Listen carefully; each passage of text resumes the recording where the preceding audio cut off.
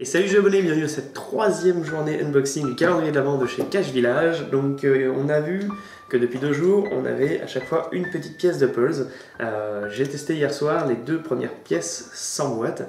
Donc est-ce que dans ce troisième jour, on aura également une pièce de Pulse On va le savoir tout de suite. Alors, à chaque fois, mon petit papier. Et j'avais vu que la pièce numéro 3 était une plus grosse enveloppe, déjà. C'est lourd, il y a du monde. Alors.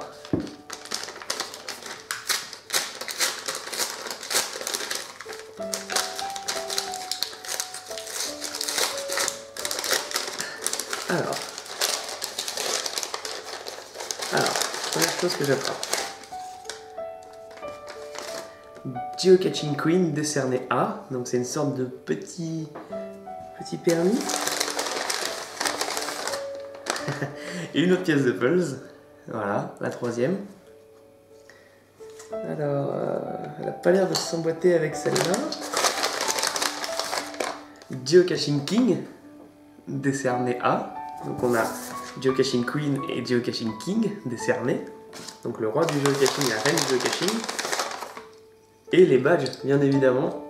Geocaching King et Geocaching Queen. Voilà. Donc en fait, on a les deux badges, donc ça tombe bien pour nous deux. pour en faire ça à gauche.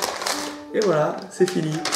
Donc, euh, on a donc une pièce de Pulse pour compléter celui qu'on a. Donc, euh, à moins que je me trompe, elle n'a pas l'air de rentrer celle-ci dans ces pièces-là.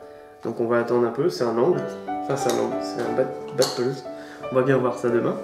Et on a donc deux badges plus les, les on va dire les petits permis donc du, du roi du geocaching et de la reine du geocaching avec les badges. Voilà. C'est plutôt sympa. Voilà, donc euh, je vous dis à demain euh, pour le live et à demain également pour l'unboxing du 4. A très vite, j'ai amitié à tous. Ciao